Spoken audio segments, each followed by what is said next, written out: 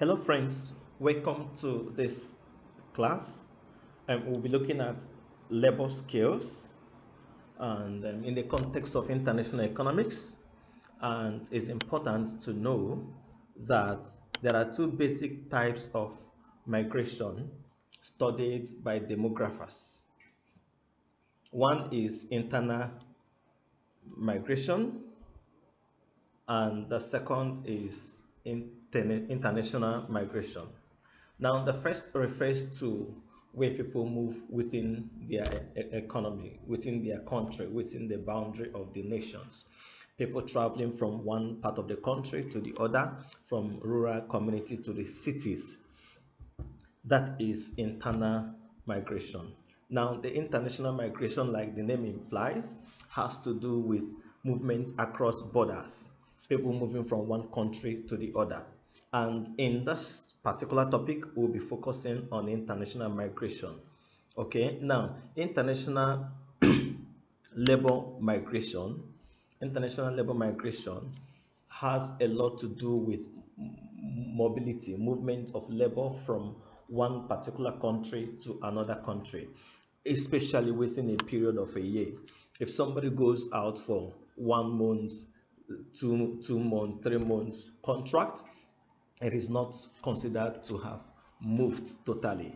So the period, minimum period required is a year for it to be counted as movement of labor in that context. Now, international labor migration occurs in all economies of the world, both in developed and developing economies.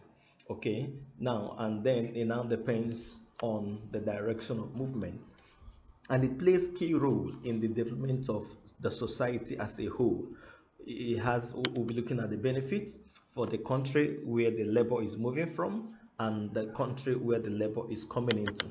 Now, but before we do that, it's important to note two basic interdependent process of um, international migration.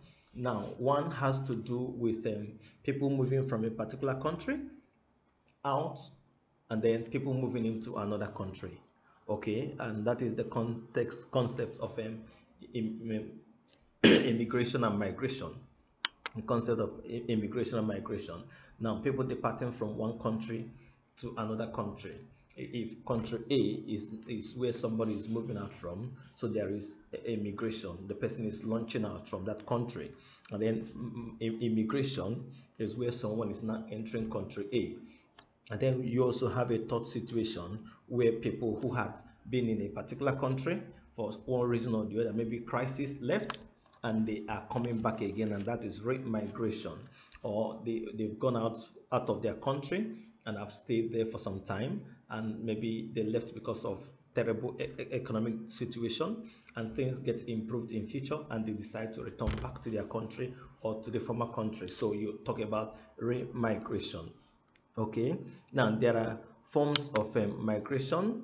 Um, we have people who move totally and they are going to another country to settle totally and that is permanent migration. And we also have people who uh, people we also have people who yeah we also have people who move for within a period of time. Okay they move they move within a period of time leaving their home country to another country but then their their entry into that country has expiring time and once that time elapses they are by law required to return back to their country. And then the legal migration these are people who move into another country in violation of the country's rules they said they don't want somebody to come in and you find an illegal way of coming in. You are considered an illegal migrant okay? You know or people who have entered a country and their permits have elapsed and they decided to find a way of hiding within that economy is also considered as illegal migration. It often happens between you know when people are moving from poorer nation to richer country maybe because they are looking for greener pasture okay now in the international level the direction of movement could differ you know depending on how this is needed. So international labor market tells us a lot about the flow of labor across borders. Okay, just like we move capital, just like we move goods, just like we move services. Okay, so it's an informal market that exists somewhere you can't tell. But that market is servicing supplies and demand of labor or of services in different countries of the world. In other words, international labor market exists in the form of labor migration. Okay, and then it's important to know that there are factors that influence international labor mobility. The factors could be internal within the economy, the factors could be external happening across the world. And those factors include political factors, it could be military, it could be religious crisis, it could be religious advancement, it could be national issue, it could be cultural challenge, it could be family. And then there are some other social factors, you know, that affect movement of um, labor across borders.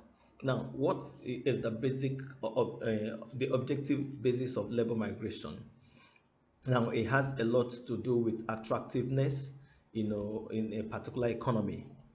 So labor moves from the country of low standard of living, low income, to where the, the demand is required, where the, the, the, the wage is higher. You know, so the basic objective of labor migration has a lot to do with differences in level of wages and it's important you note it okay? Differences in level of wages that determines movement a lot about um, about um, labor. How it moves depends on where wage is in most cases higher.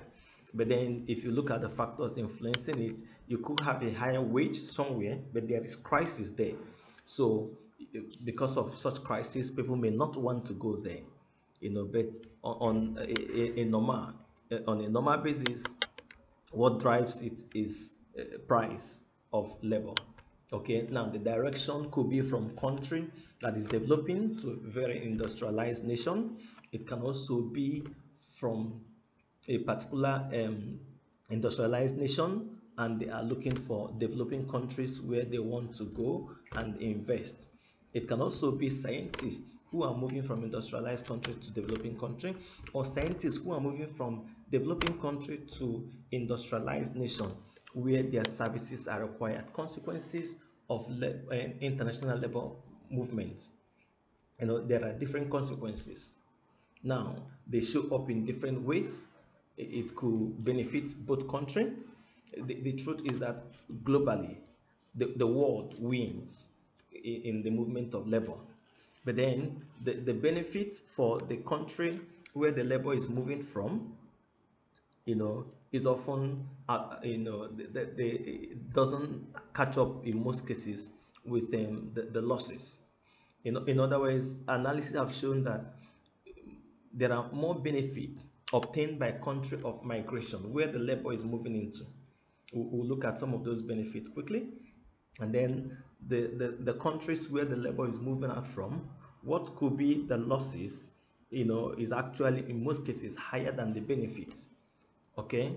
Uh, uh in, in most african countries we talk about brain drain where the best of the people are moving out to more developed economy and they are no longer available for the development of their you know local economy.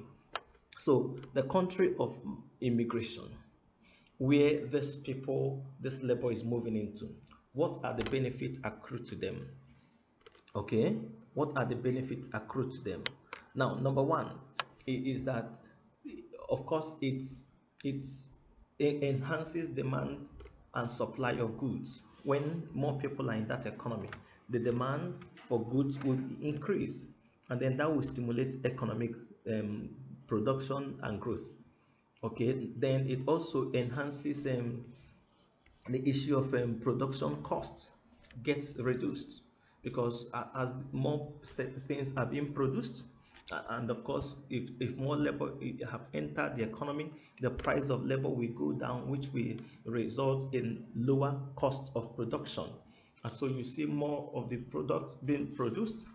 And then the hosting country also has um, a lot to benefit from tax. Many african players play in european nations and if you know how much each of these players pay in tax to the government of the hosting country you you'll be able to understand what it means. You know that um, people you know the country that are hosting the country that are hosting actually benefiting a lot from taxes from these migrants now there's something called um, uh, voting by leg or foot voting foot voting is very common in countries like united states of america where you can live in a particular state state a and you are working in state b as long as the government in state A is providing you the facilities you need, you stay there. And where you reside is where you pay your tax. And so if the government in state A is not providing you the facilities you need to be comfortable, you can decide to relocate to state C, whereas you are still working in state B. And then the government in state C will begin to benefit from your tax. And that phenomenon is called voting by legs. And that is what people in most cases do you know when they feel that the government is not benefiting them they move away from where they are. The other benefit that accrue to immigrating nation the country where these people are entering is the fact that they bring knowledge transfer of knowledge. When you travel from another country to another country and you are interacting working with people there invariably you'll be rubbing off on them the knowledge you have come with. Okay? And then the foreign workers are often considered as shock absorbers. If the economy is having a challenge and the country decide that look we want to reduce the number of um, we want to reduce the number of um, unemployment by making sure our people are employed and all of that they may decide to lay off or there is unemployment challenge they may decide to lay off first the foreigners leaving their own citizens okay even developing countries also practice it. In, in countries like nigeria um, some there is this policy that you cannot employ a foreigner on a permanent basis for a position that a nigerian can do. And so you, you, it helps them to absorb a lot of shock. Now migrants also improve the demography of the nation. In some countries that are suffering age, aging population. You know when younger people are coming in it helps to strike a balance and it goes a long way to reflect in development activities. Now what is the benefit accruing to the country? Where this labor is moving out from? One the of course it reduces unemployment because the pressure in the market, labor market is reduced. More people, as people are jackbarring, as people are stepping out from their country, you know, those who are around will have the opportunity. And then it, it frees, you know, free labor training. When they go out, in most cases, they get to learn new things. And so they may bring back this knowledge to their domestic economy. Then a lot, a lot of them also send back money to their families they left behind in terms of um, remittances so these are benefits that accrue to countries. I mean, this, this is one important question you may want to think about. The current political debate on migration is often uh, based on misconception about the relationship between migration, job, and development. See it? Three things, migration, jobs, and development. Now, the question could be, what are some of the ways in which labor migration benefits migrant workers and their family, as well as their origin and destination countries. You know, um, these are things you need to think about. I, I try to present three key points that could be possible response to such cases. Of course, there are remittances sent back home to the country, to the to the homes where this labor have moved out from. Okay, and then the migrants also contribute to sustainable development in their state of origin uh, in a way of financing investment. They can also invite or train people. So, so these are the benefits that could accrue. It also has a lot to do with um, meeting the, the, the, the once they, they are out of the place and then they, they, they benefit the destination country where they have gone to by ensuring that um, shortage of labor is, is, is, is, is the gap in shortage of labor is bridged. They add to the labor supply. They pay taxes and then they also contribute in um, development of the country where they have found themselves. Another important question is this: What is ILO and what is its mandate?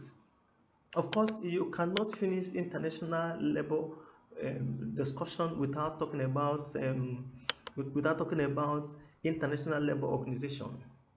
International Labour Organization actually out to handle three major things. One, they try to link, bring, link together government, labor, and workers in a way that makes worker, you know, promote um, decent job for everybody, whether male or female.